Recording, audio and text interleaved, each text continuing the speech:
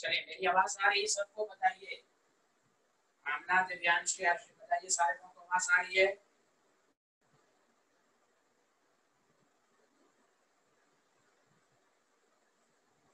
अच्छा हमने last questions क्या कराया था? जैसे पास पर मिलियन शुरू कर दिया था क्या? आपके बैच में पास पर मिलियन शुरू किया था। अच्छा चलिए ठीक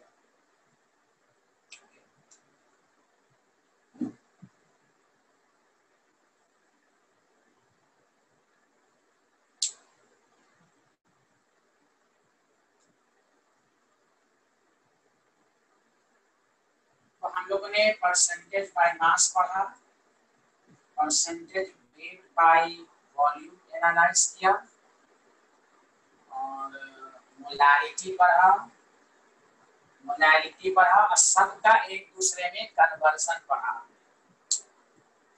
यह हम लोगों ने सीखा।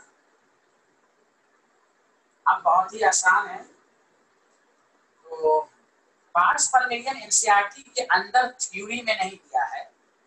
लेकिन एनसीईआरटी के एक्सरसाइज में पहले ही चैप्टर में एक क्वेश्चन उन्होंने दिया है। तो इसीलिए एनसीईआरटी की एक अच्छी बात ये भी है वो बहुत सारी बातों को थ्योरी के फॉर्म में ना देकर क्वेश्चंस के फॉर्म में अगर दे दे तो वो भी सिलेबस में इंक्लूड होगा। इसलिए अब हम लोग जो शुरू करने जा रहे हैं, वो है पार्ट्स पर।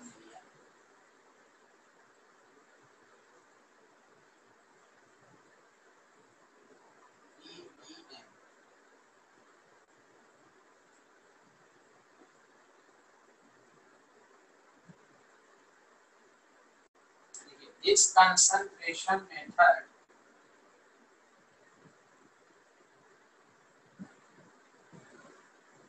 This concentration method is used when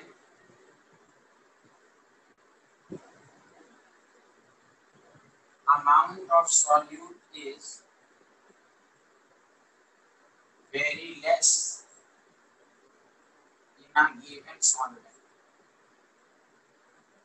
पहली बात ये कि जब ये कंसंट्रेशन कम्स तभी यूज़ होगा जब आपका सॉल्यूट का अमाउंट बहुत ही कम हो। जैसे अगर आपको एयर में पॉल्यूशन का अमाउंट निकालना हो वहाँ हम मोलारिटी या मोलारी स्पीड से नहीं चलेंगे। वहाँ जो आपको आएगा। उस केसेस में हम सॉल्यूशन की कंसंट्रेशन को पार्ट्स पर मिलियन में एक्सप्रेस करेंगे। ये है तो याद रखिए पार्ट्स पर मिलियन में amount of solute is very less अब आइए इसको डिफाइन कैसे करते हैं? तो इसका मतलब ये हुआ it is define as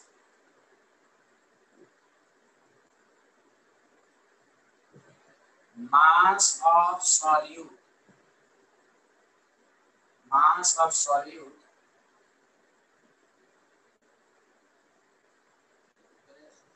Present in 10 to the power 6 gram इसी को हम लोग 1 मिलियन कहते हैं। ऑफ़ सॉल्यूशन ये डिफाइन करने का तरीका हुआ। It is defined as mass of solute present in 10 to the power 6 gram of solution. सारे लोग ने लिख लिया यहाँ तक सबको समझ में आ रहा है बताइएगा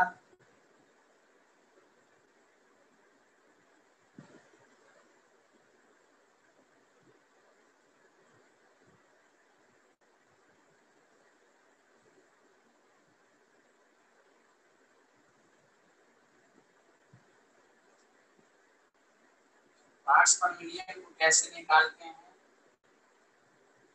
Mass of solute divided by mass of solution into 10 to the power 6 इस तरह मास परसेंटेज में मास परसेंटेज में क्या था? Mass of solute mass of solution into hundred parts पर मिलियन के लिए mass of solute mass of solution into ten to the power six इसको हम ppm कहेंगे। ये है पूरी थ्योरी ppm एक समय रिपीट कर देता हूँ। Ppm का इस्तेमाल हर उस जगह होता है जहाँ अमाउंट ऑफ़ सॉल्यूट बहुत ही कम होगा। इन अ गिवन सॉल्यूशन जब अमाउंट ऑफ़ सॉल्यूट बहुत ही कम होगा तो वहाँ हम सॉल्यूट कंसंट्रेशन को पीपीएम में एक्सप्रेस करेंगे। नंबर वन नंबर टू इसको कैसे डिफाइन करेंगे? It is define as mass of solute present in 10 to the power 6 gram of solution निकालने का ये तरीका। चलिए, मैं आपको आसान क्वेश्चन से शुरू करता हूँ, बस आपको ये आना चाहिए। Mass of solute mass of solution याद रखिए ये सब हम ग्राम में लेंगे। जितना भी मास लेंगे, वो सब ग्राम में लेंगे। Mass of solute in gram mass of solution in gram question number one. Six milligram of oxygen gas present in one kg of sea water. Calculate the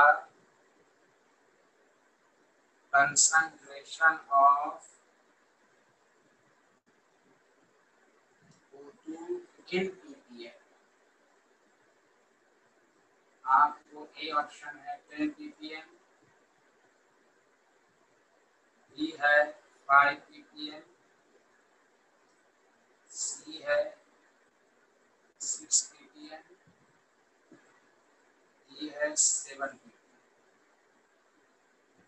बहुत आसान है फॉर्मूला ऊपर है आपके पास mass of solute divided by mass of solution into ten to the power six mass of solute भी gram में रखना है मास ऑफ़ सॉल्यूशन भी ग्राम में रखना है और पीपीएम निकालना है।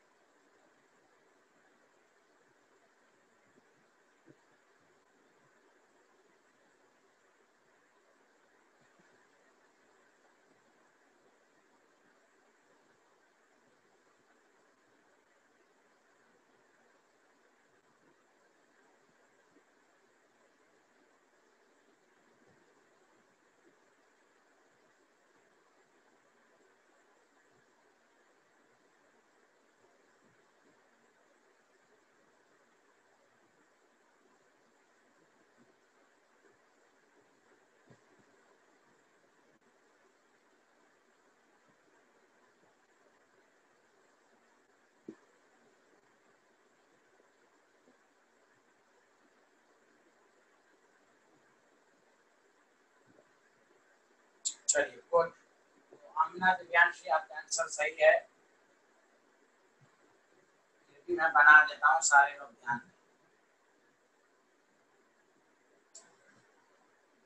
क्वेश्चंस के मुताबिक मास ऑफ़ सॉल्यूट जो है, वो सिक्स मिलीग्राम है six into ten to the power minus three zero point zero six gram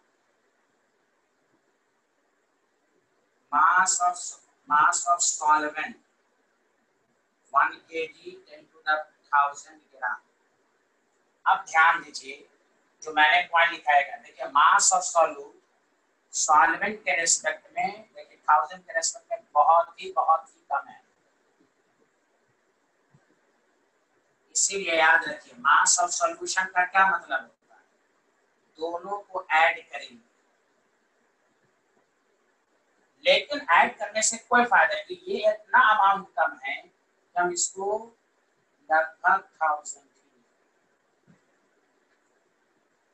इसीलिए याद रखें मास ऑफ़ सोल्यूशन का मतलब होता है दोनों के मास को सम करना।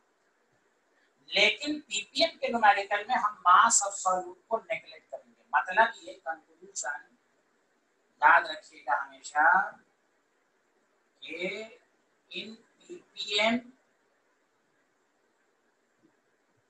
numerical mass of solution almost equal almost equal to mass of solvent. हम सोल्यूट के मास ये कंक्लूजन और डाटा से भी देखिए, बहुत ही कम है। ये इसीलिए आप डायरेक्ट क्वेश्चन को कर ले। Six into ten to the power minus three mass of thousand ten to the power six. तो ये ऊपर जाकर सिक्स हो जाएगा, ये कैंसिल सिक्स अगर आप मान लीजिए इतना पूरा लीजिएगा ना सॉल्व कीजिएगा तो पॉइंट नाइन नाइन आएगा. इसीलिए आपको कहा है कि आपको ईपीएम के न्यूमेरिकल में मास ऑफ़ सॉल्यूशन लगभग बराबर होगा मास ऑफ़ सॉल्यूशन बताइए थ्योरी सबको समझ में आ गई? याद रखना है, इस तरह करेंगे। बताइए, कोई दिक्कत है जिन्होंने नहीं देखा है, देख लें।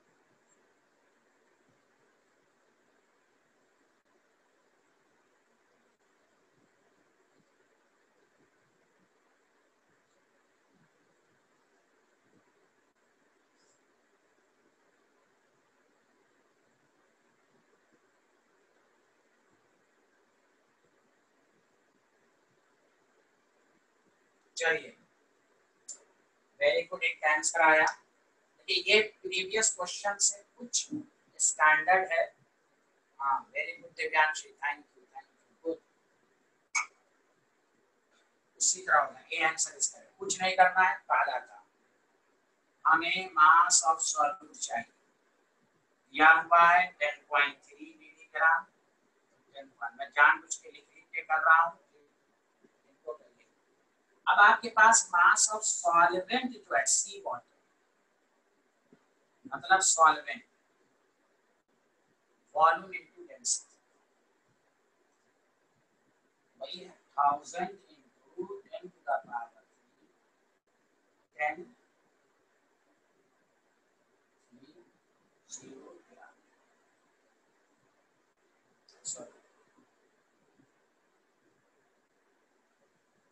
बस पीएम इज़ अब यहाँ पर आपको मालूम है, अब हम डायरेक्ट करेंगे क्वेश्चन इसलिए पीपीएम के न्यूमेरिकल में मास ऑफ़ सॉल्यूशन को आप मास ऑफ़ सॉल्वेंट लिख सकते हैं, चूँकि सॉल्यूट का मास बहुत ही कम होता है।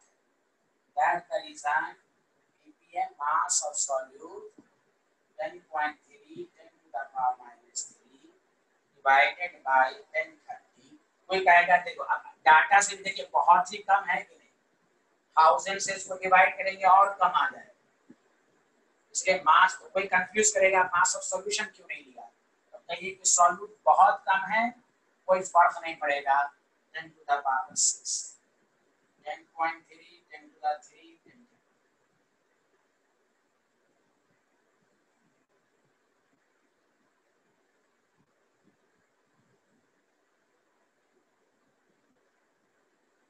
एकदम क्लियर हो रहा है, दिव्यांशी आमना तो जे क्लियर हो रहा है कि नहीं सबको भाई?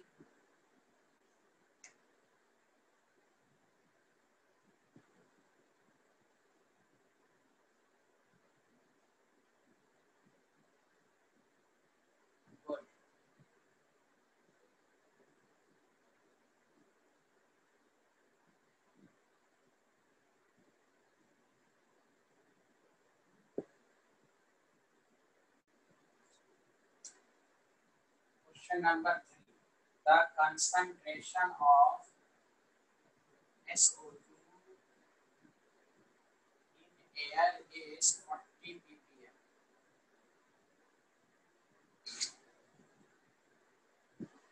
Assuming density of air is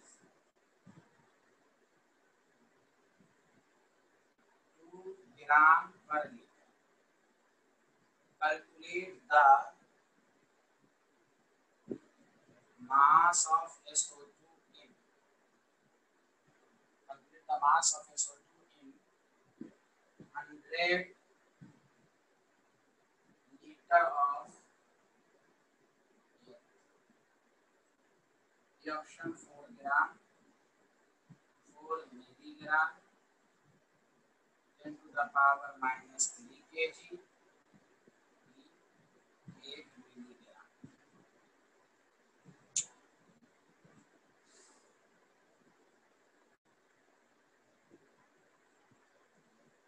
करिए दो मिनट।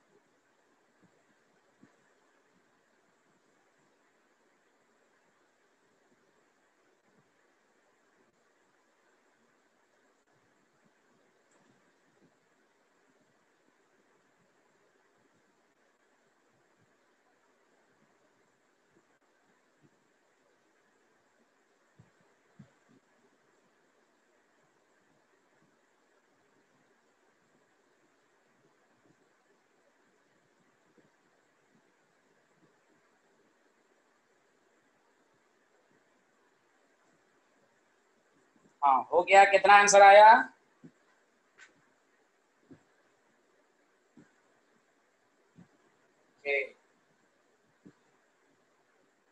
एट एम जी बताइए, सबको तो आ रहा है आप वेरी गुड देखिए।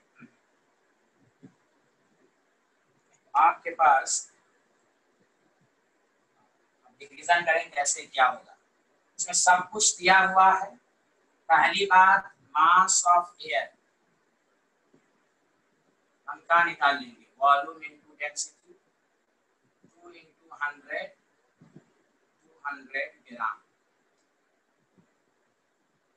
अब आपके पास पास मिलियन है। Mass of SO mass of air into ten to the power six बस यही करना है। हमें नॉमिनेटर निकालना था, ये कितना दिया? Forty mass of SO two मालूम नहीं। टू हंड्रेड है टू द पावर सिक्स है। Mass of SO two is equal to eight thousand by ten to the power six eight into ten to the power minus three gram eight इसी तरह सब लोगों ने क्या होगा बताइए। अब आइए ये तीन बेसिक क्वेश्चंस थे पास अब एनसीईआरटी e ने जो क्वेश्चंस दिया है, वो बहुत इंपॉर्टेंट ध्यान देना है आपको। तो मैं पहले आपको टाइम दूँगा, आप बनाने की कोशिश कीजिएगा। अगर बन जाए तो ठीक। लेकिन पार्ट्स पर मिलियन के लगातार तीन क्वेश्चन से आपको सब में समझ में आया कि mass of solute is very negligible लेकिन लास्ट में भी जो आंसर आया 8 मिलीग्राम बहुत ही नेग्लेजेबल है। Question number 4 last question on BPM फिर मोल फ्रैक्शन शुरू करेंगे अब ये बहुत इंपॉर्टेंट है। एनसीईआरटी में है।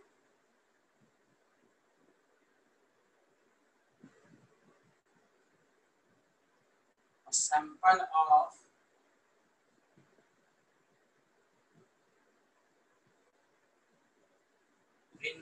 water is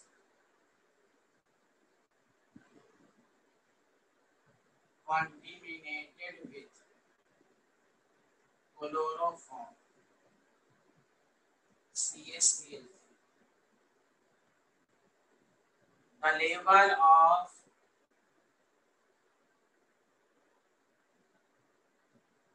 contamination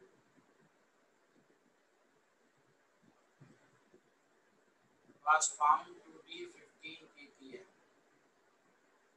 पहला part calculate the mass percentage of solute. So first option 15 percent. 0.15 percent. Second, third option 0.015 percent. Be none of these. इसका बी पार्ट है calculate the molality of solution. This is important. Parts per million से mass percentage और molality this is important तीन हम लोगों ने direct question कर लिया।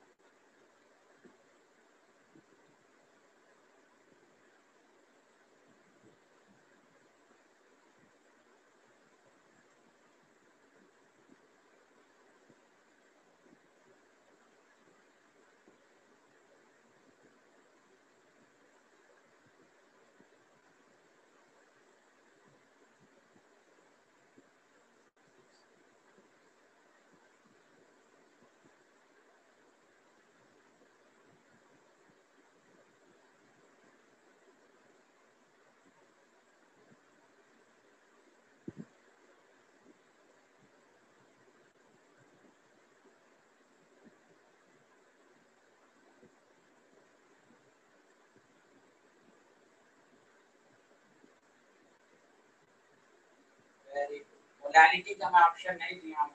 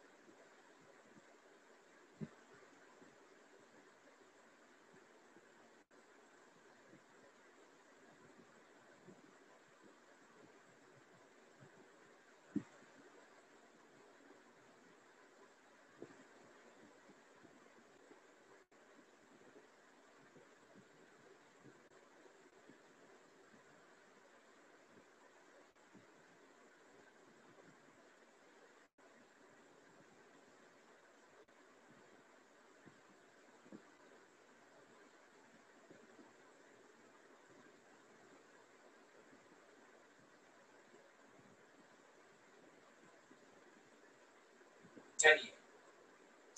हाँ देखिए, इस क्वेश्चन को बहुत यही क्वेश्चन एनसीईआरटी में। अब पीपीएम के बारे में कुछ भी थ्योरी में एनसीईआरटी में नहीं दिया हुआ है। लेकिन इस क्वेश्चन की मदद से आपको पूरी थ्योरी पढ़ाई गई। अब ध्यान दें। अब क्या है आपके पास? तो ये है देखिए, मैं बारह आपको कंसंट्रेशन का नेक्स्ट क्लास आपकी नॉर्मेलिटी की होगी this is the last topic of concentration उसके बाद हम लोग लिमिटिंग रिएजेंट वगैरह सॉल्यूशन यानी तीसरा पार्ट पढ़ेंगे अब ध्यान दीजिएगा कि मैं आपको बारह पढ़ा चुका हूँ पर मिलियन किसी भी किसी भी एक कंसंट्रेशन को दूसरी कंसंट्रेशन में कन्वर्ट करना हो तो आप उसकी मीनिंग लिखिए मीनिंग इसकी मीनिंग से इंफॉर्मेशन निकाल 15 gram of solute in 10 to the power 6 gram of solution अब इससे मालूम हो गया mass of solute 15 gram mass of solution 10 to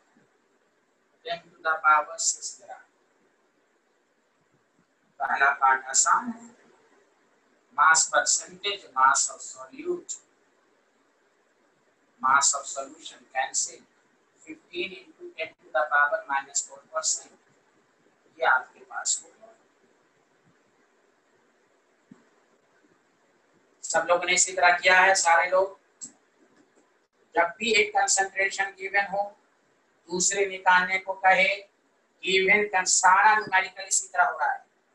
कि एक कंसंट्रेशन को दूसरी कंसेप्ट समझ में आ रहा है कि नहीं, आप दोनों दोनों को दिव्यांशी और आमना। मेन है कंसेप्ट यही अल्हम्दुलिल्लाह आप लोगों का आंसर भी आ रहा है। बहुत बेहतर। अब जब देखिए, ये तो इंफॉर्मेशन मालूम हो गया तो मोलालिटी तो निकल ही गया। यही एक चीज़ पाँच छह क्लास से रिपीट हो रही है। अगर हमें इसी को मोलालिटी में भी कन्वर्ट करना होता तो हम इसी तरह हाँ यस थैंक यू अब देखिए इसको कैसे करें। ये तो हो गया। अब हमारा काम है number of moles of solute given mass by molar mass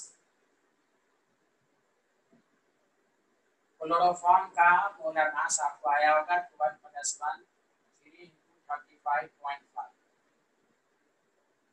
अब फिर वही बात खुद सोचिए मास ऑफ़ सॉल्वेंट कैसे निकालिएगा तो ten to the power six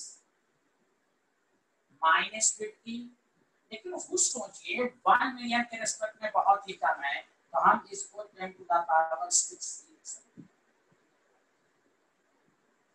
तो molality is equal to number of moles of solute per KG of solvent 15 into 1000 by 119.5 10 to the power 6 gram को केजी में कन्वर्ट किया गया। ये वाला आया सबको, आमना दिव्यांशी ये आया, ये वाला। बेसिकली इससे में से इसको घटाएँगे। लेकिन ये बहुत ही लार्जर है। अब वन मिलियन में से दस लाख में से पंद्रह रुपया कोई माने ही नहीं रखता। तो ये आपका आंसर हुआ, इसको सॉल्व कीजिएगा तो भाई zero point zero zero one two five है। मोल पर ये एनसीईआरटी का क्वेश्चन है। स्कूल के यूनिट टेस्ट के लिए इंपॉर्टेंट है। एक एक क्वेश्चन एनसीईआरटी का कर डालिए जब एंड होगा चैप्टर हम लोग एक एक क्वेश्चन करेंगे। ऐसे मैं क्लास नोट्स में अब जब पूरा चैप्टर खत्म होगा तो आपको 95 परसेंट इसी में मिल चलिए, अब आइए नेक्स्ट टॉपिक पर। ये सबको समझ में आया? पार्ट्स पर मिलियन में कोई डाउट है किसी को?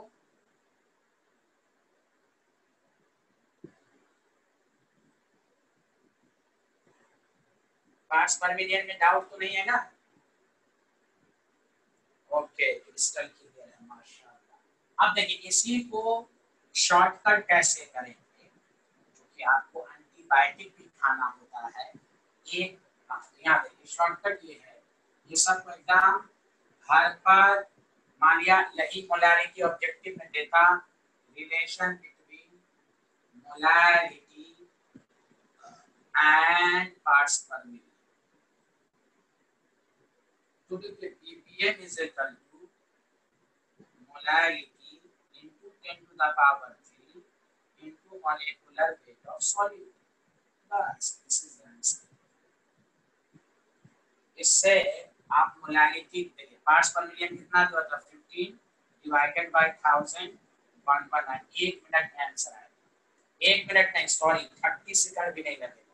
देखिए, ये ऊपर ऊपर कैंसिल होके 3 बचेगा कि नहीं, नीचे? जैसे शॉर्टकट आया कि नहीं एंटीबायोटिक दवा है ये। ये होम्योपैथ दवा था धीरे धीरे करके खाना है। यह एंटीबायोटिक था। और ये आया, सबको समझ में?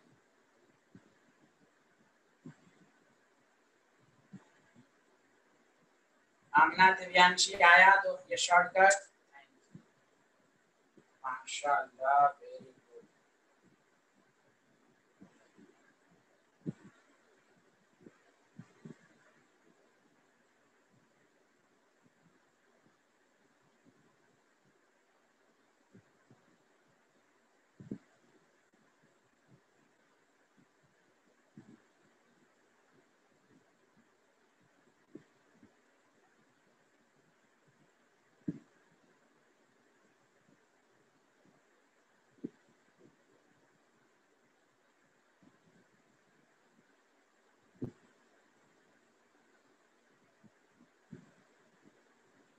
चलिए अब आइए। अब आप लोग आइए। नेक्स्ट टॉपिक पर।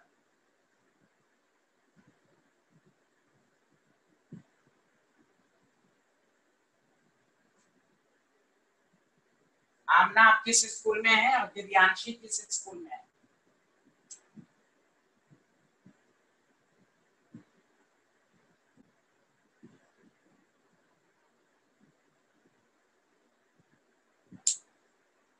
कॉपी डालिए मोल फ्रैक्शन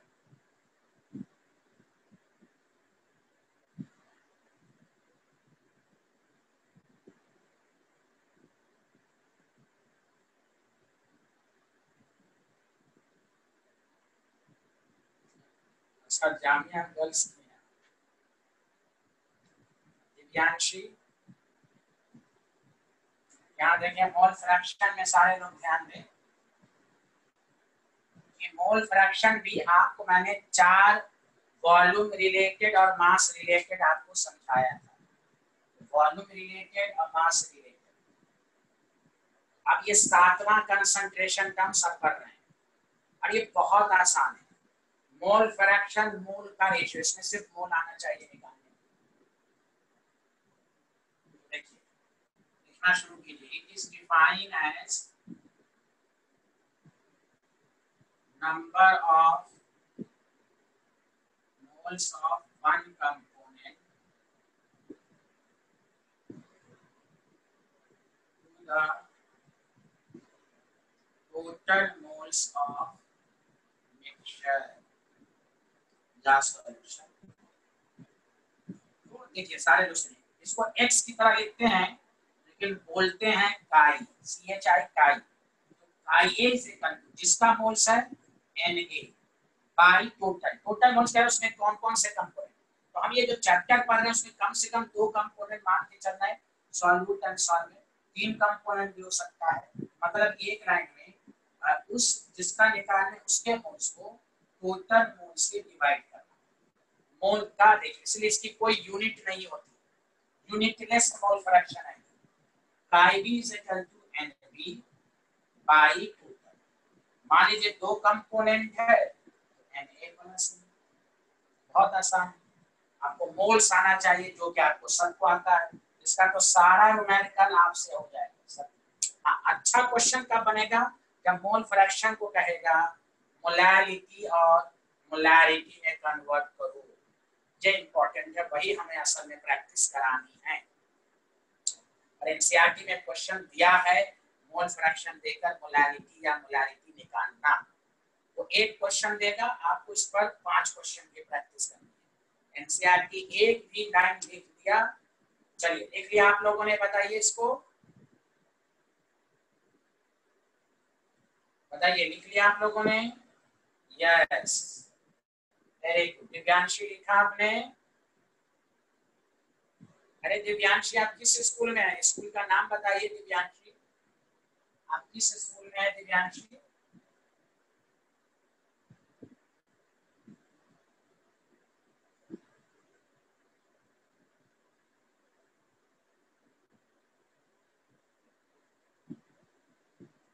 अच्छा गुड वेरी आप देखिए। सारे लोग ध्यान दीजिए। एक इंपॉर्टेंट बात जो नोट में है मोल फ्रैक्शन ऑफ़ मिक्सचर हमेशा वन होगा देखिए chi a plus chi b हमेशा वन होगा इसलिए याद रखिए, एक बात हमेशा याद रखिए। मोल फ्रैक्शन हमेशा कंपोनेंट के रिस्पेक्ट में निकाला जाएगा। कभी भी, जैसे अभी तक हम लोग पढ़ते थे मोलारिटी मोलारिटी सॉल्यूशन का भी निकाला जाता है और कंपोनेंट का भी निकाला जाता है। सिंगल का भी आयंस का जिस तरह हम लोगों ने पढ़ा था। लेकिन मोल फ्रैक्शन सिर्फ़ कंपोनेंट के रेस्पेक्ट में होगा। सिर्फ़ कंपोनेंट के रेस्पेक्ट में होगा। सॉल्यूशन का मोल फ्रैक्शन हमेशा वन अगर एक का मोल फ्रैक्शन 0.3 दे दिया तो आप डायरेक्ट कहिए दूसरे का मोल फ्रैक्शन 0.7 होगा। और आप देख लीजिए, क्यों? आप फॉर्मूला चेक कर लीजिए n a by n a plus n b plus इसको लिख दीजिए n b by n a plus l b बताइए एलसीएम लेकर कैंसिल हो जाएगा कि नहीं? दोनों का सम वन आएगा कि नहीं? चलिए, इसको लिख लीजिए अब मैं न्यूमेरिकल्स की शुरुआत कर रहा हूँ आप लोग बताइए।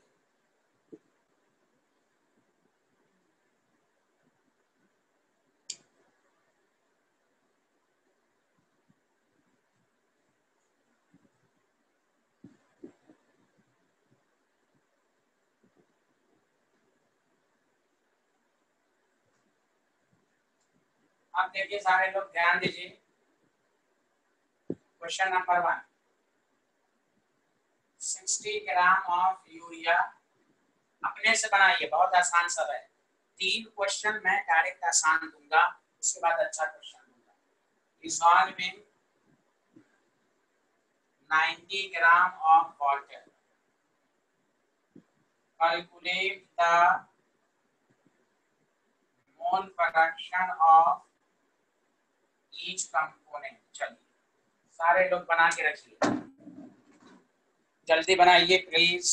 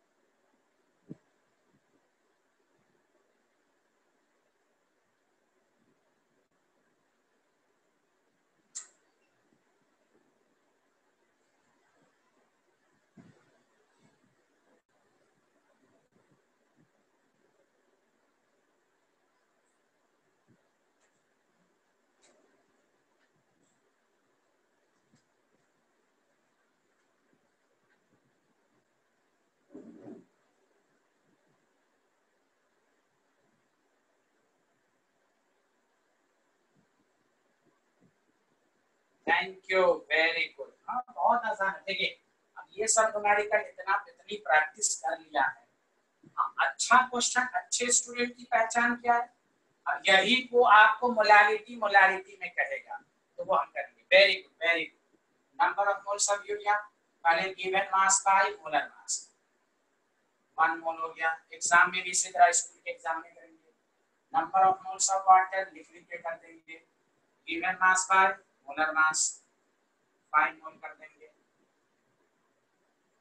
बस हो गया mole fraction of urea number of moles of urea urea plus water school के एग्ज़ाम में स्टेप वाइज करेंगे वन ऑब्जेक्टिव है एकदम ध्यान मार दीजिए मोल फ्रैक्शन ऑफ़ वाटर आप डायरेक्ट लिख सकती हैं, लेकिन मैं इस तरह भी लिख सकता हूँ।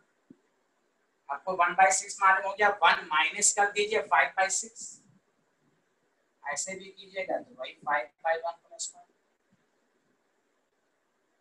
चलिए वेरी गुड सबका आंसर सही आया है।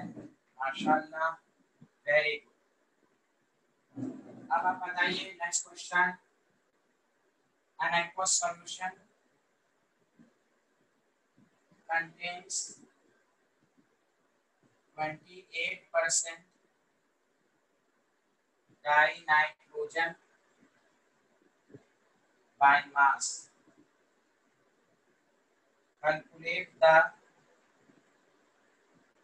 mole fraction of each component.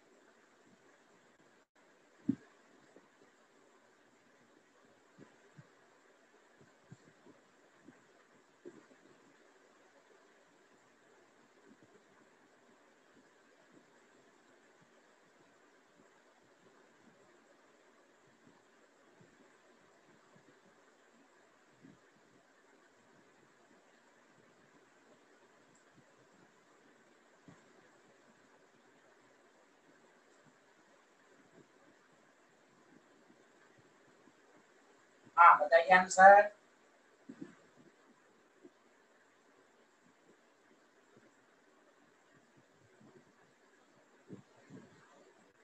माशाल्लाह माशाल्लाह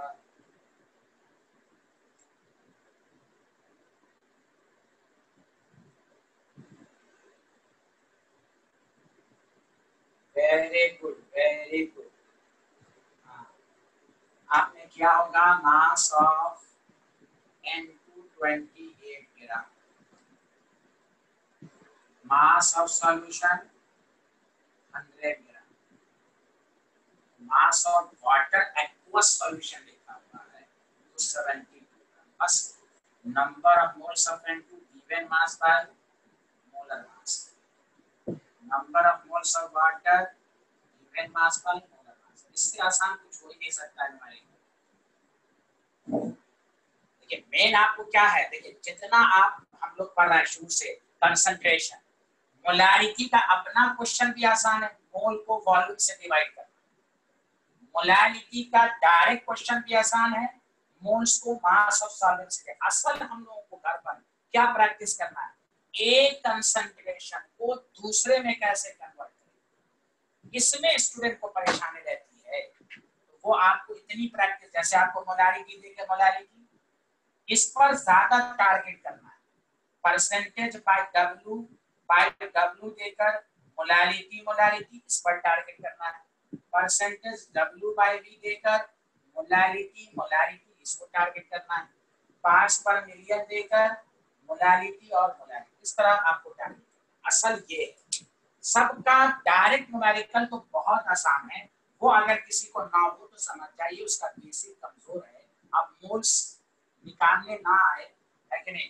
तो ये है आपको टारगेट कंसंट्रेशन के न्यूमेरिकल में यही करना है। अब हो गया mole fraction of N2 1 by 1 plus 4 1 by 5 mole fraction of water 4 by 1 plus 4 4 एक एक और बेसिक क्वेश्चन कर लीजिए उसके बाद हम आपको अच्छे अच्छे क्वेश्चंस कराते हैं।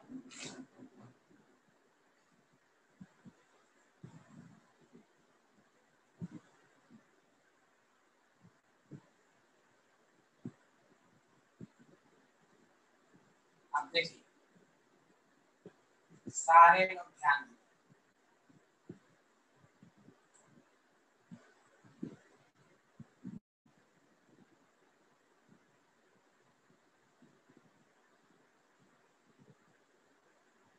if solution contain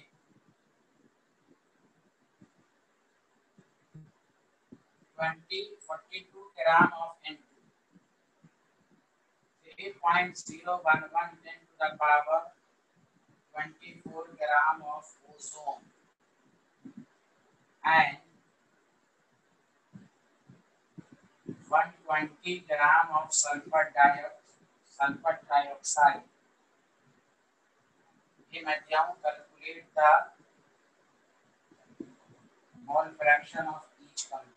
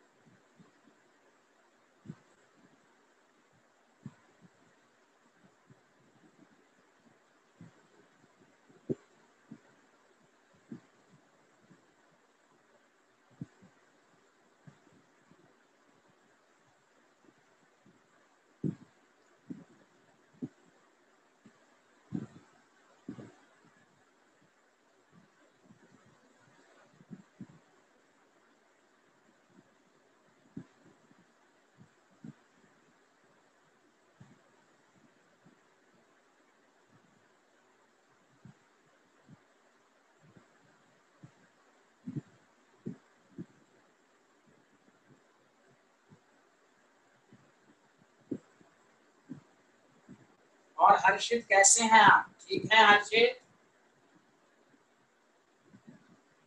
How are you Harshit? London top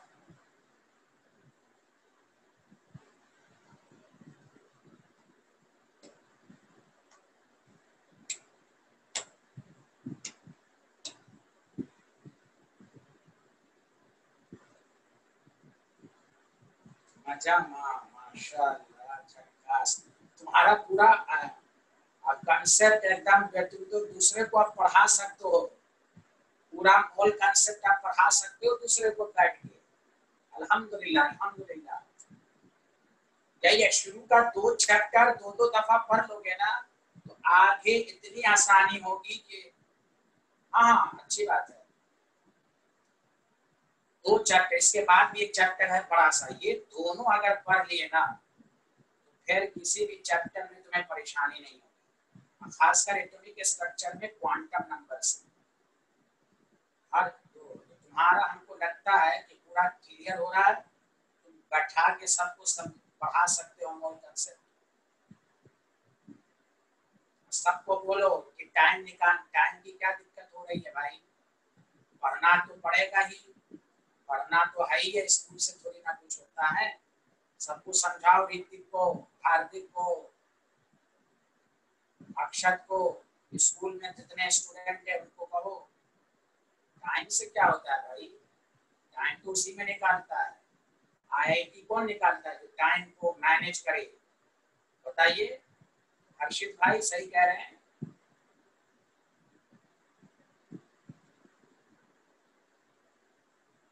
अरे आमना दिव्यांशी आंसर नहीं आ रहा है भाई। ओ माय गॉड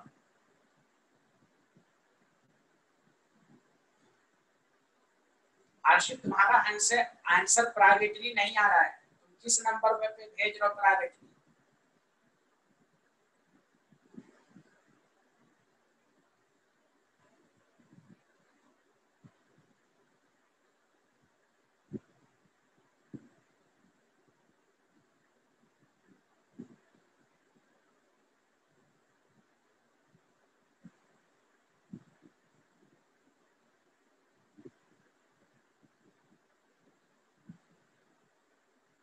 नहीं नहीं अच्छा। तो एक है मी मी और को होस्ट मी और को होस्ट तुम को होस्ट पर भेज रहा हो कि मी को होस्ट पर भेज रहा हो?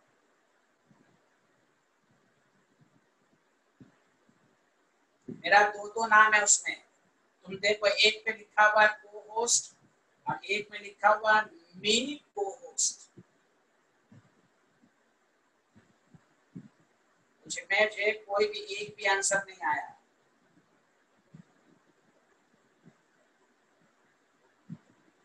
अल्लाह, क्या हो गया भाई दिव्यांशी और आमना? ओ माय गॉड चलिए, मैं बताता हूँ। पॉइंट में आंसर मत निकालिए पॉइंट में। आपको लगता है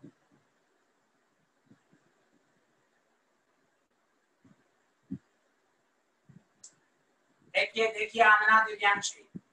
Even mass by molar mass चौदह गुना अट्ठाईस थ्री बाई कोई पॉइंट में अभी नहीं लाइए हाँ बस। अब आया सही। ऐसे कर देना है। Number of moles of O3 number of particles divided by Avogadro's number. देखिए अब मोल्स का प्रैक्टिस भी हो गया। दस by two five moles Pala Campos. Number of moles of SO3 120 gram by 83 by 2. पहला का मोल्स बताइए, सबका मोल्स आ गया होगा अब देखिए मोल फ्रैक्शन ऑफ़ N2 अच्छा पहले टोटल मोल्स निकाल लेते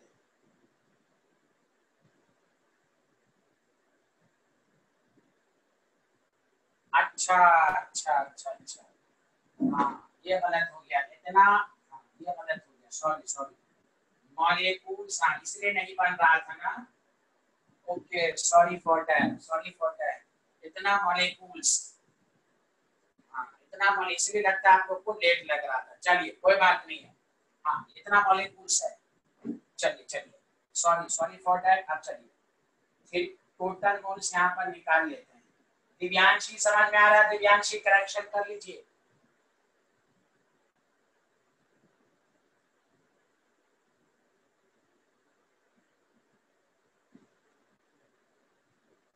एक मोल बस, अब हो गया।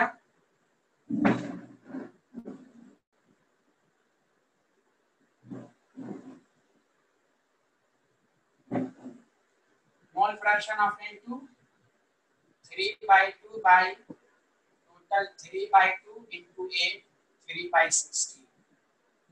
Mole fraction of O3, uh, 5 by 8. Mole fraction of SO3, 3 by 2 into 8, 3 by 16. ये आंसर है यहाँ करेक्शन कर लीजिएगा वो ग्राम नहीं था मॉलिक्यूल था तो number of particles divided by Avogadro's number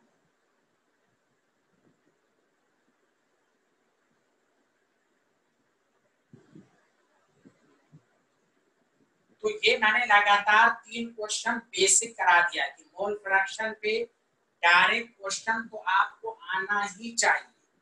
इसमें अगर दिक्कत आ रही है तो ये आपकी प्रॉब्लम है। बेसिक कंसेप्ट की प्रॉब्लम होगी। क्योंकि डायरेक्ट मोल निकालना अब आइए असल क्वेश्चन पर। वो मैं खुद समझाऊँगा। और खासकर आमना और दिव्यांशी, ध्यान दीजिए। और उसके बाद फिर मैं एनसीईआरटी का क्वेश्चन करा दूँगा।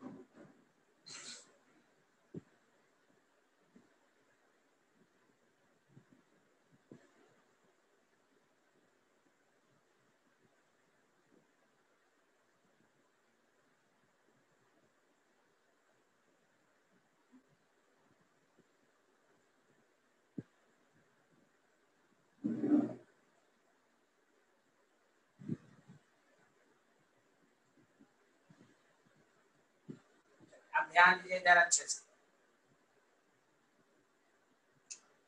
क्वेश्चन लिखिए the mole fraction of urea in aqueous solution is 0.25 calculate the molarity Of solution. ये आपको कहेगा तो देखिए, कैसे करना है, सारे लोग ध्यान दीजिए। उसके बाद फिर शॉर्टकट बताएँगे। स्कूल के एग्ज़ाम में कैसे करना है, ध्यान तो देखिए मोल फ्रैक्शन ऑफ़ यूरिया 0.25 है। बताइए मोल फ्रैक्शन ऑफ़ वाटर 0.75 आप बताइए। आमना और दिव्यांशी, ये समझ में आया? जल्दी बोलिए। अगर यूरिया का मोल फ्रैक्शन 0.25 है का मोल फ्रैक्शन 0.75 दिव्यांशी बताइए एक एक स्टेप में मैं पूछूँगा अब सर लिखिए नहीं पहले समझिए प्लीज़ मोल यूरिया और mole fraction of water one by three एक बार अच्छा मैं डायरेक्ट कर दिया हो सकता है प्रॉब्लम वन बाई थ्री अब सुनिए नेक्स्ट स्टेप देखिए इसको लेफ़्ट साइड को हम ये भी लिख सकते हैं। N urea by n water one by three अब बताइए, यहाँ से यहाँ समझ, क्यों? देखिए, और से। मोल्स ऑफ़ यूरिया क्या लिखिएगा मोल फ्रैक्शन ऑफ़ यूरिया इसके मोल्स को टोटल मोल्स इसको क्या कीजिएगा? वाटर के मोल्स को total moles total total cancel हो जाएगा। जैसे देखिए x urea number of moles of urea by n mole fraction of water n water by n total ratio जब लेंगे तो n urea by n total total total cancel हो जाएगा ना? तो जो मोल फ्रैक्शन का रेशियो होगा, वही उसके मोल का रेशियो होगा। बताइए, आमना और दिव्यांश यहाँ से यहाँ तक आया कि नहीं?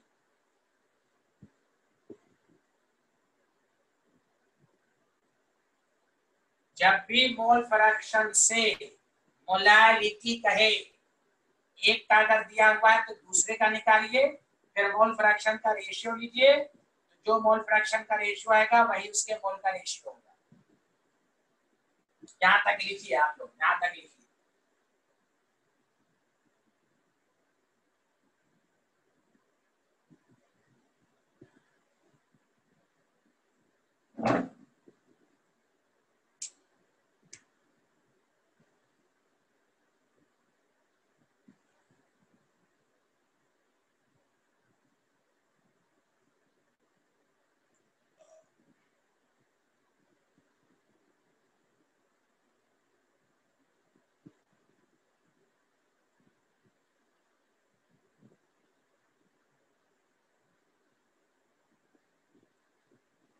आप सुनिए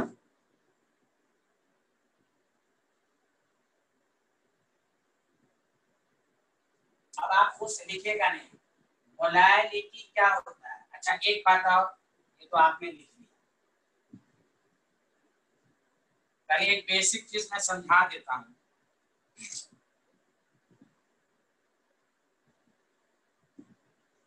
आपको मालूम है number of moles of water को क्या लिखेंगे mass of water divided by molar mass बताइए मास ऑफ़ वाटर क्या हो जाएगा? 18 इंटू नंबर ऑफ़ मोल्स लिख सकते हैं? अब देखिए यहाँ मोलारिटी मोलारिटी का क्या फॉर्मूला होता है? Number of moles of solute mass of solvent in kg देखिए number of moles of solute कौन है इसमें? यूरिया लिखा हुआ ना the mole fraction of urea है आप देखें। मास ऑफ़ सॉल्वेंट तो मास ऑफ़ सॉल्वेंट इधर देखिए, लिख सकते हैं। 18 into number of moles of water चूँकि मास किसमें आता है? ग्राम। ग्राम है तो केजी में कन्वर्ट करेंगे आप बोलिए, सही लिखा के लिए जल्दी बोलिए। मास ऑफ़ सॉल्वेंट को 18 इनटू नंबर ऑफ़ केजी। ये अल्लाह, कुछ तो बोलिए। कुछ तो बोलिए, जल्दी से। पक्का, क्रिस्टल क्लियर, दिव्यांशी। पक्का, कोई शर्माना तो नहीं है डाउट तो नहीं है, पक्का।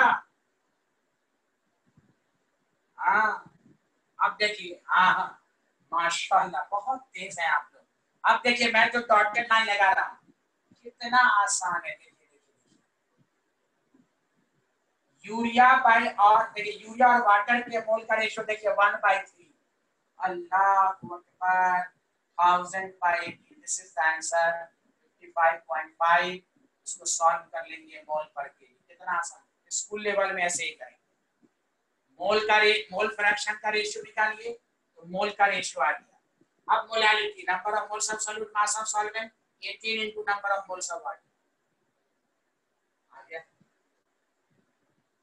इसमें कोई दिक्कत नहीं। असल अब इसी पर पर सब इसी क्वेश्चन को खमंडी में नहीं रहना है। उसी दिन समझ समझ के तीन चार दफ़ा रफ पेपर प्रैक्टिस कीजिए कि मोल फ्रैक्शन से मोलारिटी कैसे निकालेंगे असल अब स्टूडेंट की पहचान इस न्यूमेरिकल से होगी।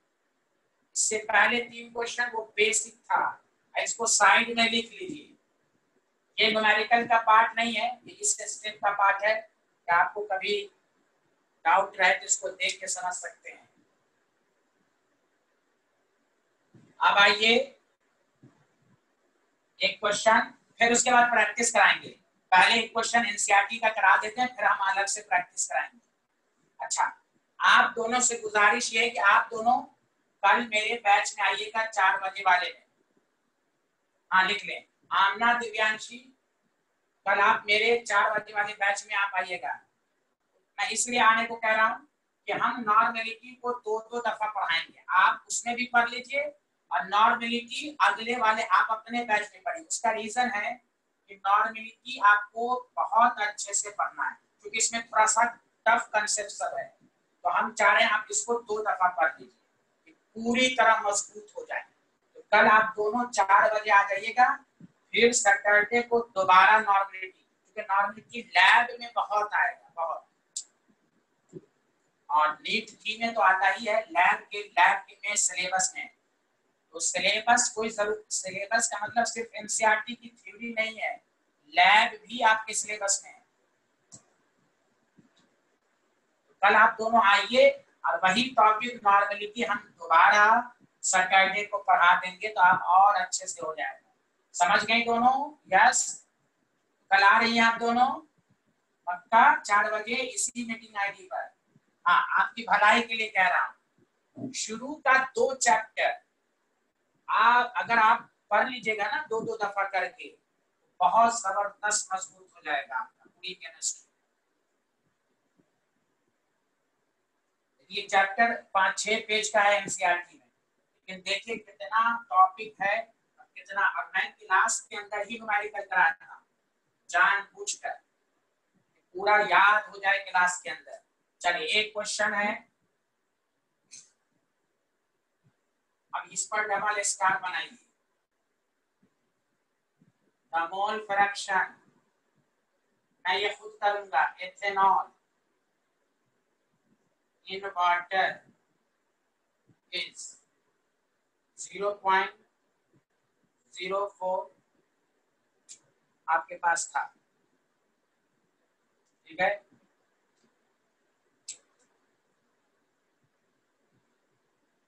सकता है डाटा कुछ चेंज हो लेकिन आपका कंसेप्ट ये calculate the molarity of solution अच्छा आप लोग टेक्स्ट मैसेज के आंसर दीजिए मोल फ्रैक्शन को मोलारिटी में कन्वर्ट कर रहे हैं। डेंसिटी की ज़रूरत होगी या नहीं दोनों दो, दोनों बताइए। मोल फ्रैक्शन को मोलारिटी में। यस हाँ होगी। क्यों होगी? मास वाली चीज़ को वॉल्यूम में कन्वर्ट कर रहे हैं। मास मोल को वॉल्यूम में, मास वाली चीज़ को वॉल्यूम में कन्वर्ट कर रहे हैं। अब पिछले में डेंसिटी की ज़रूरत नहीं थी। जानबूझ कैसे पूछ दिया मैंने। आपको दे देगा assuming assuming density of water ये एनसीईआरटी का प्रॉब्लम अब आइए सारे। और फाइनल फाइनल एग्ज़ाम में, जो आपके स्कूल का एग्ज़ाम है, एनसीईआरटी के अलावा कुछ पूछता ही नहीं, एक आध क्वेश्चन पूछता है। बाकी सब अगर आप 90 प्लस लाना चाहती हैं, एक तो कंसेप्ट क्लियर होगा तो हर क्वेश्चन होगा। एनसीईआरटी को अंडर एस्टिमेट नहीं करना है, आपको एक अब देखिए इसको कैसे करेंगे वॉल सिस्टम हमें मोलारिटी के लिए number of moles of per unit number of moles का मतलब सॉल्यूट का मतलब एथेनॉल ये हमें चाहिए। अब एक एक स्टेप में आपसे पूछूँगा। मोल फ्रैक्शन ऑफ़ एथेनॉल इसे conclude number of moles of ethanol divided by number of moles of ethanol plus water mole fraction की यही डिफिनेशन होती है। बताइए सही लिखा ना? यस या नो टाइप कीजिए एक एक स्टेप समझिए। जो मोल फ्रैक्शन की डिफिनेशन है, उसके मोल्स को टोटल मोल से डिवाइड करना। वाह। अब आइए। Next step is very important next step समझ लीजिएगा, वही है पॉइंट अब हमें मकसद क्या है? देखिए मोल्स ऑफ़ सॉल्यूट मतलब मोल्स ऑफ़ एथेनॉल ये मालूम हमें ये निकालना है। तो ये तभी निकलेगा कि जब हमें वाटर का मोल्स मालूम अब वाटर का मास वगैरह नहीं दिया है। तो आप इसको कैसे निकालेंगे देखिए कैसे निकालेंगे आप? देखिए और से सुनिएगा। डेंसिटी ऑफ़ वाटर आपको दिया हुआ है वन ग्राम पर एम ध्यान दीजिएगा, हम वाटर का मास लेंगे थाउज़ेंड ग्राम इस पर ही पीएचडी कीजिए। वाटर का मास कहीं पर थाउज़ेंड नहीं, क्यों लिया? अब सुनिए अच्छे से। न्यूमेरिकल में कहीं पर भी वॉल्यूम नहीं दिया है।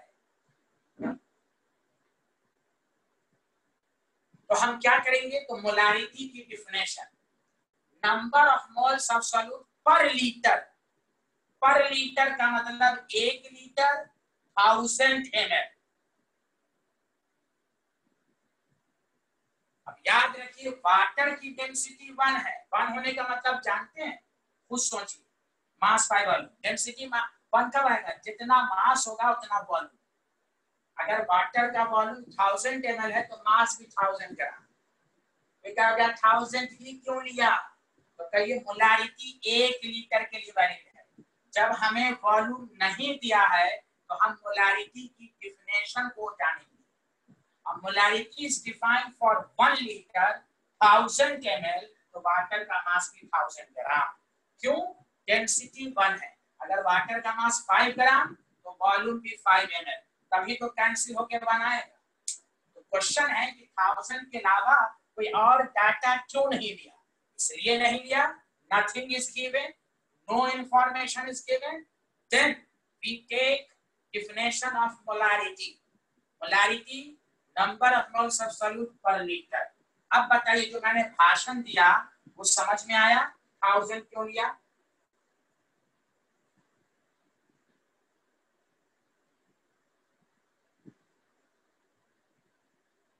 पक्का दिव्यांशी थाउज़ेंड ग्राम क्यों लिया? ये आपको समझ में आया कि नहीं आया? आ गया अब देखिए। तो बस number of moles thousand by eighteen fifty five point five अब कुछ है ही नहीं। ये मालूम ये मालूम नहीं। चलिए इसको हम x मान लेते हैं। X plus fifty five point बताइए, x आप निकाल लीजिएगा यहाँ से। अब जो x आएगा, वो क्या है? मोल्स बस यहाँ पर x अब बताइए वॉल्यूम कितना लीजिएगा? जब थाउज़ेंड ग्राम है तो थाउज़ेंड एम है वन लीटर बस अब घर पे क्या कीजिए एक्स यहाँ से निकालिए। वो वैल्यू यहाँ पुट कर दीजिए यही मोलारिटी दोबारा समझाता हूँ। जब भी मोल फ्रैक्शन को मोलारिटी में कहिए तो आप, आप वाटर दिया हुआ हो तो वाटर का मोल्स अब कंपटीशन में रहे जुबानी याद कर लीजिए 55.5 अब चूँकि एनसीईआरटी का है तो आपको स्टेप वाइज करना एग्ज़ाम ये लिखा। हमें ये मालूम है वाटर का मोल्स मालूम नहीं तो यहाँ से निकाल लेंगे वैल्यू तो एक्स निकल जाएगा एक्स क्या? मोल्स वैल्यू पुट किया वॉल्यूम वन लीटर जो आंसर आएगा वो मोलारिटी।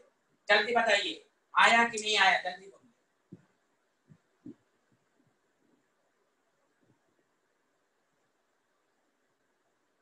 ये आपका होमवर्क है कि आप एक्स निकालना है। घर पर ये होमवर्क है कल मैं पूछूँगा सबसे।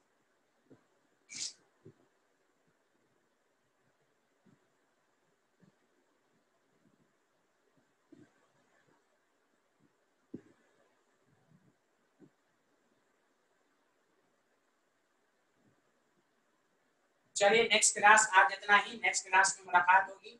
आमना और दिव्यांशी, कल आप चार बजे आइएगा। क्योंकि नॉर्मली की हम दो दफ़ा पढ़ाएँगे सारे बैच दोनों बैच ओके थैंक यू